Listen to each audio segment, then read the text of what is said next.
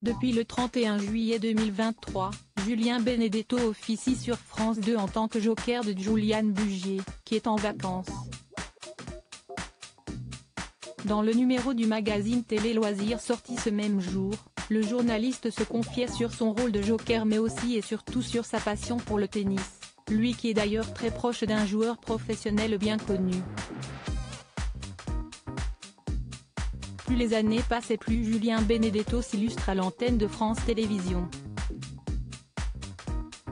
Néanmoins, le journaliste de 42 ans n'est toujours pas parvenu à décrocher un rôle de titulaire et se contente, chaque été, de prendre la place de Juliane Bugier aux commandes du 13h de France 2.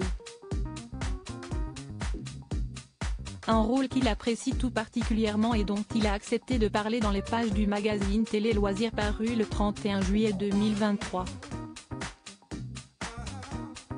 Pour ce grand passionné de sport, et surtout de tennis, le fait que le journal estival soit plus varié est une véritable aubaine. Heureux et professionnellement épanoui, Julien Benedetto ne se plaint pas de son rôle de remplaçant, loin de là.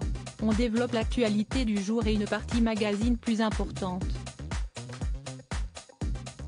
Si est un journal qui me correspond aussi parce qu'il y a plus de sport, plus de culture, a-t-il expliqué dans un premier temps. Pour autant, le beau brun ne cache pas son envie de grimper les échelons.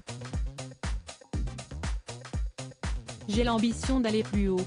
L'objectif, si est d'être un jour à la tête d'un grand JT en tant que titulaire, affirmait-il alors.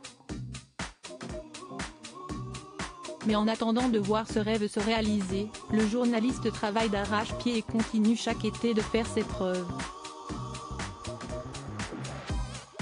ce qui ne l'empêche pas non plus d'occuper son temps libre en exerçant le sport pour lequel il voue une véritable passion, le tennis.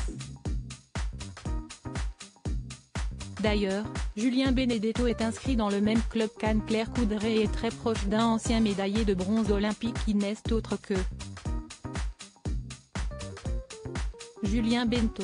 Si est un ami? On a le même âge, le même prénom et quasiment le même nom de famille, a-t-il expliqué avant d'avouer avoir eu le rêve de passer professionnel, il y a de cela de nombreuses années. On s'est ensemble, car mon rêve de gosse était d'être joueur de tennis. Lors de son beau parcours à Roland Garros en 2006, un des animateurs l'avait appelé Julien Benedetto pendant toute la quinzaine. Donc, pour mes amis, j'étais en quart de finale de Roland. C'était assez savoureux, a-t-il ensuite raconté avec entrain. Si Julien Benedetto n'est finalement pas devenu tennisman professionnel, il cesse rapidement trouver une autre voie, dans laquelle il s'illustre avec succès. Rappelons qu'un plus d'être le joker estival de Julian Bugier sur France 2, il est aussi le joker de Laurent Delahousse lorsque celui-ci ne peut pas présenter le journal de 20h.